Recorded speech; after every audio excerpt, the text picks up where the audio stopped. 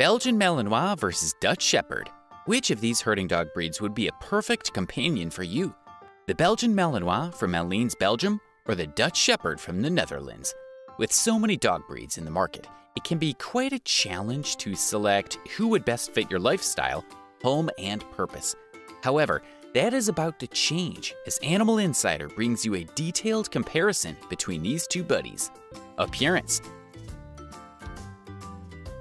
The Belgian Malinois is an elegant working double coated dog with a rich fawn to mahogany coat with black tips on the hairs to give an overlay appearance.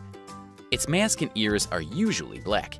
Hair on the neck, tail, and back of the thighs is somewhat longer, but on the head, ears, and lower legs, it could be very short. Dutch Shepherds come in gold or silver brindles with some white and black markings. However, the American Kennel Club, AKC, lists them as a yellow brindle color. Like the Malinois, Dutch Shepherds have a double coat of three varying lengths. That is, the short-haired Dutch Shepherd, which is covered in short, hard, and closely fitted hair whose ruff, tail plume, and breeches are distinct.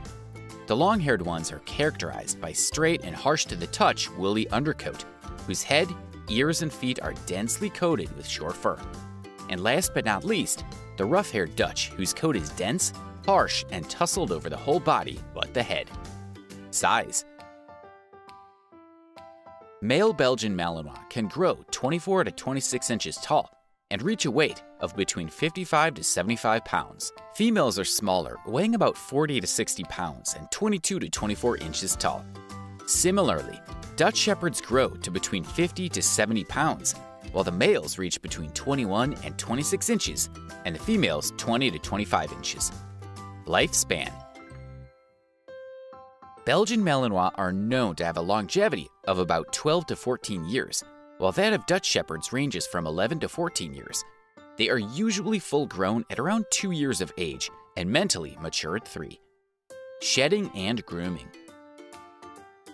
Belgian Malinois shed their weather-resistant and waterproof coat twice a year, more heavily in the spring and fall. They therefore need regular brushing, once or twice a week to remove tartar buildup and a lurk inside it. Clipping of their nails also keeps them in great condition. Belgian Malinois enjoy regular baths when dirty, but they necessarily don't require excessive grooming. Depending on how extreme your local weather is, Dutch Shepherds will blow their coat, Blowing coat is a term describing the period you feel like your dog is literally losing all the hair in their body. These dogs are fairly famous for how much coat they shed, earning them the name Dutch Shedder. If you are a Dutch owner, a vacuum cleaner and a de-lint brush are the tools you need to keep close. Even though they have three types of coats, a short coat doesn't mean you'll deal with less hair, only that the hair will be shorter rather than long. Grooming would also depend on the type of coat they have, although in general, brushing should be done at least twice a week and bathing as often as needed. Temperament Belgian Malinois have a strong body and confident demeanor. Though not overly aggressive, they can be territorial and protective of their owners. This makes them perfect for watching guard dogs, coupled with their alert nature.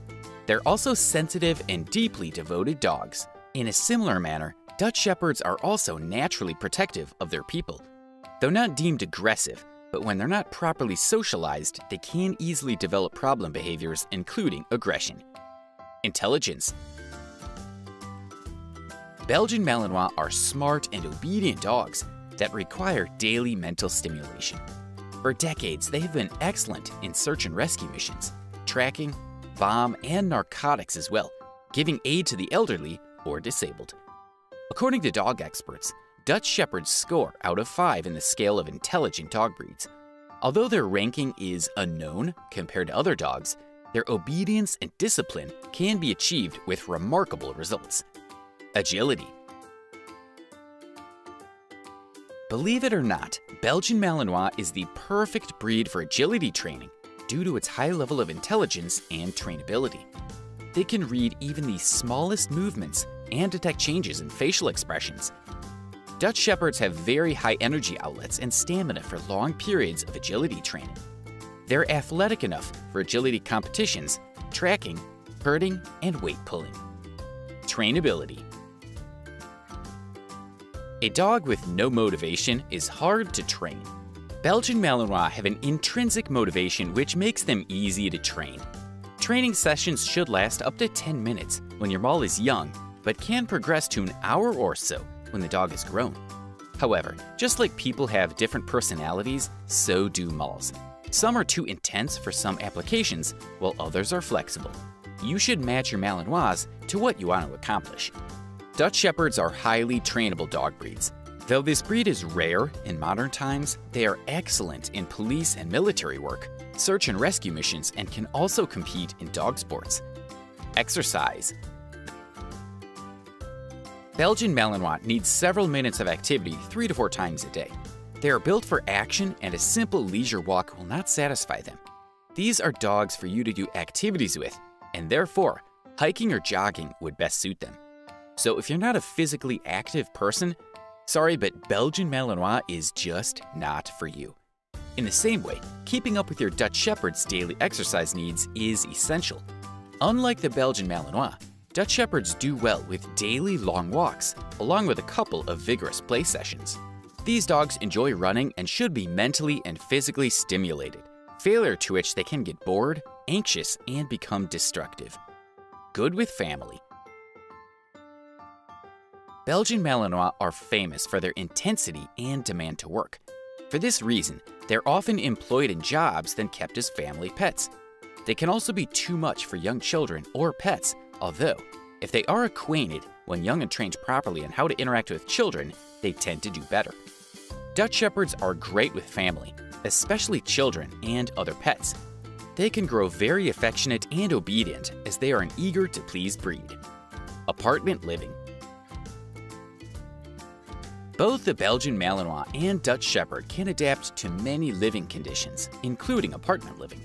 However, they require lots of daily outdoor exercises and mental stimulation and would be happiest in homes with large, fenced yards to play and stretch their legs. Even so, they enjoy being close to their companions, hence your creativity to keep them active and interested every day is necessary.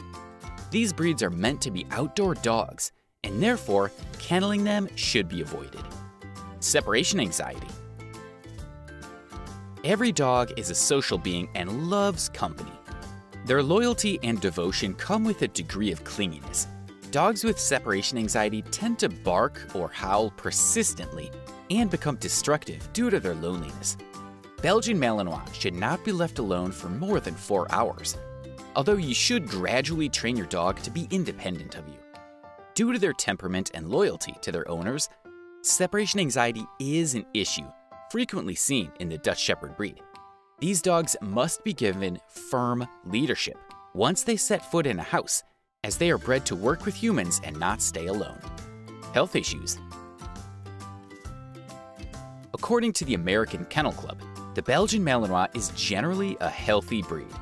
Although like many other dog breeds, they are prone to certain diseases Though not all encounter serious health issues, it is recommended by the American Belgian Malinois Club that all registered male breeders test for hip dysplasia, elbow dysplasia, and a thorough eye exam. Epilepsy and hemangiosarcoma cancer also make the list to discuss with your breeder.